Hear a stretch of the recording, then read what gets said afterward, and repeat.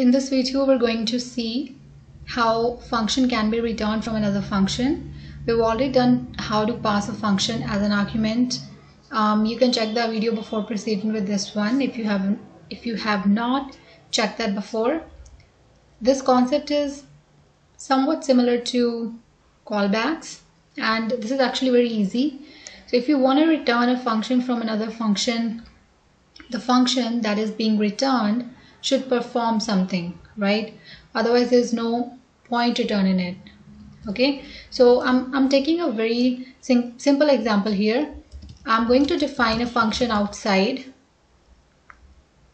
okay and then I'm going to define a function inside so I have a function outside external function and inside internal function okay and this inside function prints a message.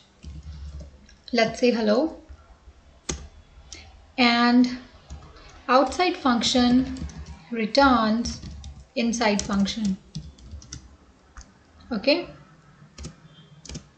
So here outside function has an inside function. And this inside function prints a message on the screen. And outside function is returning inside function whenever there is a return statement you have to use a variable to catch what is being returned. Even for um, when a simple variable is being returned. So here when I call outside function, since I know that I have explicitly used return statement, I need to use a variable to catch what is being returned when I call outside function. Okay, so I'm going to write C. So I'm taking this variable equals to outside. Okay, and now I need to call C function C becomes a function now and hello is printed on the screen if I write if I only write C here because C equals to outside. So outside function has returned. This is call. So we are calling outside function here.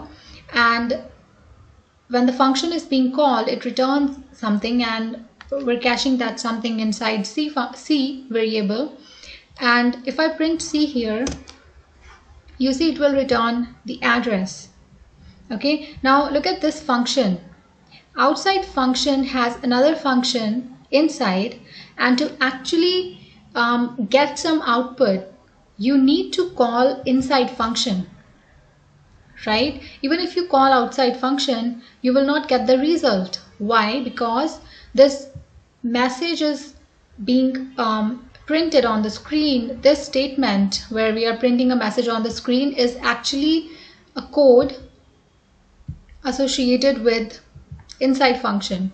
So for that, you need to call inside function. Outside function is only defining inside function. It is not calling inside function. It is defining inside function. It is returning inside. It is not calling inside okay so if you really want to get the result you have to call this inside function as well so when you write c equals outside it returns inside right?